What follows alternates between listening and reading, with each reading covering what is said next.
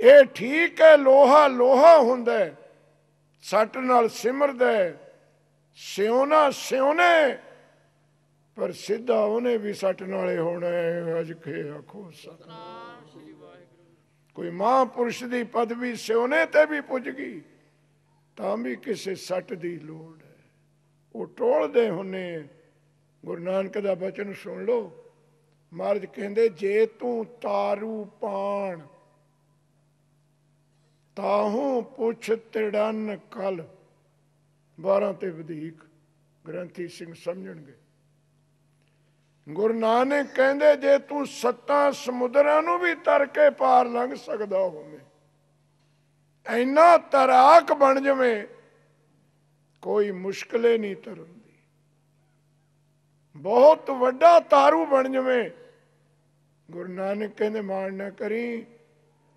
ਫੇਰ ਵੀ ਤਰਨ ਵਾਲਿਆਂ ਤੋਂ ਪੁੱਛਦਾ ਰਹੀਂ ਅਜ ਕੇ ਆਖੋ ਸਤਨਾਮ ਸ੍ਰੀ ਵਾਹਿਗੁਰੂ। ਤਾਹੂ ਪੁੱਛ ਤੇੜਨ ਕਰ।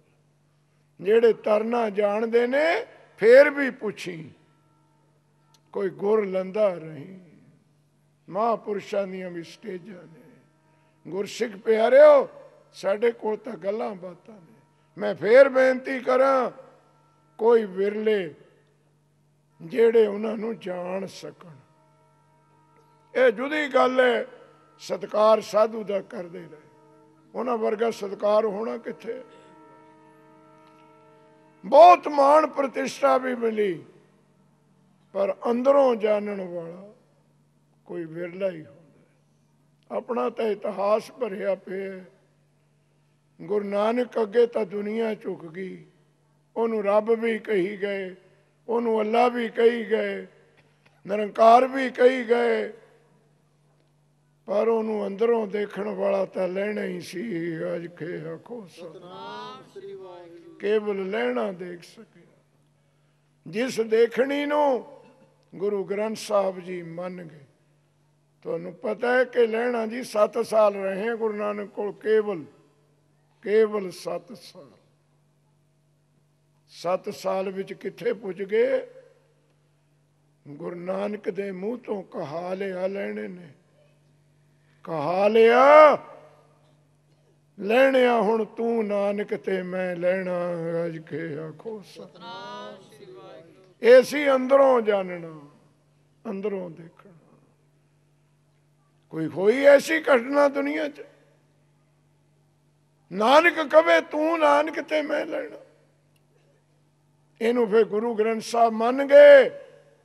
ਪਏ ਕਬੂਲ ਖਸਮ ਨਾਲ, ਜਾਂ ਕਾਲ ਮਰਦੀ ਕਾਲੀ ਮੰਨਣਾ ਪਿਆ ਬਾਣੀ ਨੂੰ। ਇੱਕ ਲੈਣਾ ਸੀ, ਜਿਹਨੇ ਮਰਦਾਂ ਵਾਲੀ ਕਾਲ ਕਾਲੀ ਇਹ ਜਿਹੜੇ ਮਨਮਤੀਆਂ ਦੇ ਸਕੂਲ ਖੋਲੇ ਨੇ, ਦੇ ਤਾਰੀਆਂ ਦੇ ਢਾਬੇ ਖੋਲੇ ਨੇ। ਡੇਰੇ ਕਹਿ ਲੋ ਕੁਝ ਮਰਜ਼ੀ ਕਹਿ ਲੋ ਇਹਨਾਂ ਨੂੰ। ਇਹਨਾਂ ਦਾ ਕੋਈ ਕਸੂਰ ਨਹੀਂ ਹੈ। ਤੇ ਤੁਹਾਨੂੰ ਹੱਥ ਬੰਨ ਕੇ ਬੇਨਤੀ ਕਰਾਂ, ਮਾੜੇ ਕਹਿਣ ਦਾ ਵੀ ਕੋਈ ਫਾਇਦਾ ਨਹੀਂ ਹੈ। ਆ ਦੇਖਿਆ ਪਿੱਛੇ ਕੀ ਹੋਇਆ, ਮੈਂ ਤਾਂ ਬਾਹਰ ਸੀ ਉਦੋਂ। ਉਹ ਸਰਸੇ ਵਾਲੇ ਦੇ ਕਾਗਜ਼ਾਂ ਦੇ ਬੁੱਤ ਬਣਾ ਕੇ ਵਿੱਚ ਵਰਛੇ ਮਾਰੀ ਗਏ। ਚੱਲਣ ਦੇ ਕਿਰਪਾਨ ਪਰ ਕਿਰਪਾਨ। ਫੂਕਿਆ ਬਹੁਤ ਜਗ੍ਹਾ, ਬੈਠਾ ਵਿਚਾਰਾ ਸਰਸੇ ਹੀ ਹੈ ਅਜ ਖਿਆ ਕੋ ਸਦਨ ਸਮਝੋ ਮੇਰੀ ਗੱਲ ਨੂੰ। ਸਮਝੋ ਜਰਾ ਪਿਆਰ ਨਾਲ, ਹੱਸ ਕੇ। ਕੀ ਜ਼ਖਮ ਹੋ ਗਿਆ ਉਹਦੇ ਕੋਈ? ਤਲਵਾਰਾਂ ਕੁੰਡੀਆਂ ਕਰ ਲੀਆਂ ਸੀ। ਇਹਦੀ ਮੈਂ ਸਾਦੀ ਮਿਸਾਲ ਦਿੰਦਾ ਕਿ ਤੁਹਾਨੂੰ। ਹੁਣ ਚਲੋ, ਕਣਕ ਦਾ ਤਾਂ ਸਮਾਂ ਲੰਘ ਗਿਆ। ਜੀਰੀ ਬੀਜਣੀ ਹੈ ਤੁਸੀਂ। ਝੰਜੜ ਤਾਂ ਨਹੀਂ ਬੀਜਣਾ ਕਿਸੇ ਜੱਟ ਨੇ। ਜੰਮੂਗਾ। ਕੋਈ ਹੈ ਤੁਹਾਡੇ ਚੋਂ ਜੱਟ ਜਿਹੜਾ ਗੁੱਲੀ ਡੰਡਾ ਬੀਜਦਾ ਹੋਵੇ? ਆਪਣੇ ਆਪ ਜੰਮੂ। ਝੰਜਣ ਵੀ ਆਪਣੇ ਆਪ ਜੰਮੂ। ਲਓ ਵੀ ਜਿਹਨੇ ਤੁਸੀਂ ਖੇਤੀ ਵਾਲੇ ਬੈਠੇ ਹੋ ਨਾ, ਹੁਣ ਜਦ ਝੰਜਣ ਜੰਮੇ, ਮਚੈਟੀ ਨਾ ਲਿਆਓ ਬੜੀ ਮਹਿੰਗੀ ਹੈ। ਨਾ ਨਾ ਨਾ। ਆਪਣੀ ਮੋਟਰ ਪਰ ਨਾ ਸੱਤ ਧੂ ਧੂ ਰੱਖ ਲਿਓ, ਇੱਥੇ ਲੈ ਜਾਓ ਜਿਹੜੇ ਲੱਗੇ ਪਏ ਬਾਹਰ। ਤੇ ਫੜ ਕੇ ਮੈਕ ਉੱਚੀ ਉੱਚੀ ਬੋਲਿਓ, ਝੰਜਣ ਬੜਾ ਬਦਮਾਸ਼, ਝੰਜਣ ਬੜਾ ਪਾਪੀ ਝੰਜਣ ਬੜਾ ਮਾੜਾ, ਇਹਨੂੰ ਜੜਾਂ ਤੇ ਪਟ ਦੇਣਾ, ਛੱਡਣਾ ਨਹੀਂ। ਤੇ 15ਵੇਂ ਦਿਨ ਦਰਸ਼ਨ ਕਰਿਓ, ਵੀ ਜੀਰੀ ਉੱਪਰ ਹੈ ਕਿ ਝੰਜਣ ਉੱਪਰ ਹੈ? ਅਜਖੇ ਕੋ ਸਤਨਾਮ। ਓਏ ਗਾਲਾਂ ਕੱਢੇ ਤੇ ਤਾਂ ਝੰਜਣ ਨਹੀਂ ਸੁੱਕਦਾ, ਤੁਸੀਂ ਮਨਮਤੀਆਂ ਨੂੰ ਮਕਾਉਂਦੇ ਫਿਰਦੇ ਹੋਰ ਗੱਲ ਕਰ ਲਿਓ। ਟਾਈਫਾਈਡ ਮਲੇਰੀਆ ਤਾਂ ਆਪਾਂ ਨੂੰ ਹੁੰਦਾ ਹੀ ਹੁੰਦਾ ਰਹਿੰਦਾ। ਫਲੂ ਹੁੰਦਾ ਰਹਿੰਦਾ, ਜ਼ੁਕਾਮ। ਖੰਘ ਹੁਣ ਸਿਆਲ ਚ ਹੋਊਗੀ।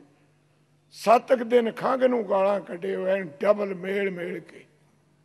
ਪੰਜਾਬੀ ਦਾ ਸ਼ਬਦ ਹੈ, ਡਬਲ ਗਾਲਾਂ। ਪੂਰੀਆਂ ਗਾਲਾਂ ਕੱਢਿਓ। ਖੰਘ ਨੇ ਤਾਂ ਕਿੱਥੇ ਮੁੱਕਣਾ, ਅੱਠਵੇਂ ਦਿਨ ਆਪਣੀ ਉਹ ਤਿਆਰੀ ਹੋ ਜੂਗੀ। ਅਜ ਕੋ ਸਤਨਾਮ। ਖੰਘ ਮੁੱਕ ਜੂ ਗਾਲਾਂ ਕੱਢਣ ਤੇ। ਆਏ ਪ੍ਰੇਮੀਓ, ਚੰਜਣ ਗਾਲਾਂ ਕੱਢੇ ਤੇ ਨਹੀਂ ਮੁੱਕਣਾ। ਸਪਰੇ ਪੰਪ ਪਿੱਠ ਤੇ ਬੰਨ ਕੇ ਵਿੱਚ ਕੱਲੇ ਕੱਲੇ ਬੂਟੇ ਤੇ ਛਿੜਕਦੇ। ਤੇ ਤਾਂ ਮੁੱਕਦਾ ਹੁੰਦਾ। ਅੱਜ ਜੇ ਮਨ ਮਤ ਨੂੰ ਮੁਕਾਉਣਾ ਗੁਰਬਾਣੀ ਦੀ ਸਪਰੇ ਘਰ ਘਰ ਕਰਨੀ ਪਊਗੀ। ਅੱਜ ਕੇ ਆਖੋ ਸਤਨਾਮ ਮਾੜਾ ਕਹਿਣ ਤੇ ਨਹੀਂ। ਇੱਕ ਹੋਰ ਮਿਸਾਲ ਲੈ ਲਓ। ਮੇਰੇ ਹਾਣ ਦੇ ਬੈਠੇ ਹੋ ਤੁਸੀਂ। ਜਦ ਆਪਾਂ ਨੂੰ ਤਾਪ ਚੜ ਜਾਂਦਾ ਤਾਂ। ਸਾਡੀ ਅੰਮਾ ਪਤਾ ਕਿਆ ਕਰਦੀ ਹੁੰਦੀ ਸੀ? ਕੁੱਜੀ ਚ ਜਵੈਣ ਪਾਉਣੀ ਉਹਨੇ, ਚੁੱਲ੍ਹੇ ਮੂਰੇ ਰੱਖ ਦੇਣੀ। ਚਾਰ ਕਵਾਲੇ ਦੇਣੇ, ਉਹ ਜਵੈਣ ਪਿਲਾ ਦੇਣੀ, ਜਿਹਨੂੰ ਤਾਪ ਚੜ ਗਿਆ।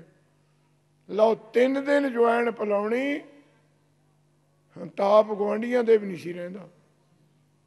ਕੁੱਜੀ ਦੀ ਜਵੈਣ ਪੀਤੀ ਹੋਣੀ ਮੇਰੇ ਹਣਦੇ ਨੇ।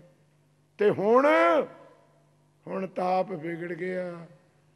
ਹੁਣ ਸੀਐਮਸੀ ਵਾਲੇ ਵੀ ਕਹਿੰਦੇ ਆ, ਘਰ ਨੂੰ ਲੈ ਜੋ ਅਜਖੇ ਕੋ ਸਤਨਾਮ।